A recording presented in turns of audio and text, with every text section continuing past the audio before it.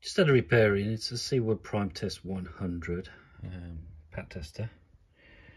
Um, it's got a strange fault. Um, it looks like there has been some battery corrosion leakage inside here. The uh, there seems to be some kind of there inside there.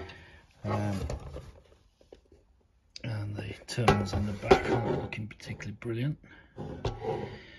Um, it's got a strange issue where um, when you first power it up, um, you get full, you know, drop a new battery in, everything flashes up on the display uh, and then disappears. New batteries, try and power it up using the two buttons, nothing. Um, just dropped up to about 9.5 volts on the power supply, put it across the battery terminals, press two buttons, powers up, works. Anything below about 9.4 volts, it will not power up. Um, this isn't a show you how to fix it, this is more of a, um, because I haven't got that far into it yet, but this is how to dismantle it. Screw there, there, there, there, there, there. Security type screw with the little pin head on, uh, which will then just allow the back to simply lift off. And this is your board inside. Um, let me just come in a little bit closer. I mean, you've got a adjustable voltage regulator and a fixed 5 volt there. I've checked those. Those seem to be okay. No problem with the power supply. Get a, there's from the battery terminal in, which to be honest ain't looking too pretty. I'll show you there. Um, positive terminals there. Negative one out, it's like covered in some kind of verdigris. Um, that's the power down to the board. Um, I've measured the, looks like there's a little bit of like greenery inside that, but I have measured it with the voltmeter and that, and it's there's no volt drop across it or anything, but but from the uh, what should be 9 volt in to the input of the 5 volt regulator, there's about 0.3 volt drop, so I need to just investigate that.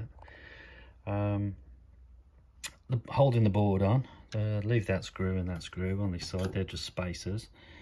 Um, there's a screw in the center, there's one at the top there, one at the bottom there, um, and then the board simply lifts off. And that's your internals. Um, so it does work. Um, if I pair it at 9.5 volts, everything seems to work. Even I've compared it against me uh, KT uh, 71 on some of the readings. It's reading fine, but it just will not power up. And I can't see initial inspection anyway any sort of corrosion on the board from battery spillage. Um, this thing just pulls off. I've checked underneath this. Um, so I'll check these as well just to make sure those are okay. Uh, give the contacts a clean up as well, obviously. Um, but then the likelihood getting a circuit diagram for this is probably almost impossible. Um, and once it is fixed, it'll have to go for calibration anyway, just make sure it's okay. It's not something that's just sally get and hopefully be all right. Um, it will need recalibrating and just make sure everything's working correctly on it. Um, but I'll just give this is just an overview anyway of the internals, um, just so you can have a quick look. Um, if you ever fancy just taking one apart to have a look, this might just save you the hassle. If there's nothing in there you can see you could possibly fix, but um, I've just got to trace the power through really and find out how it gets to this point. It's probably some kind of switching from the two switches that you press, a logic system. Um, clicks in one of these relays probably. The, so it could be a faulty relay for all I know. So, um, but I'll, I'll dig deeper and that'll be in video part two. Um, so this is just a general overview so you can actually see how it's put together.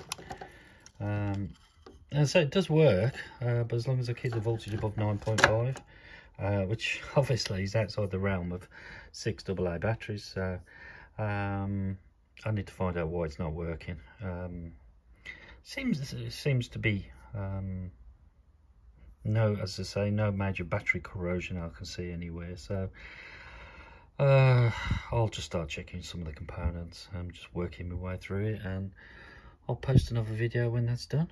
Seven.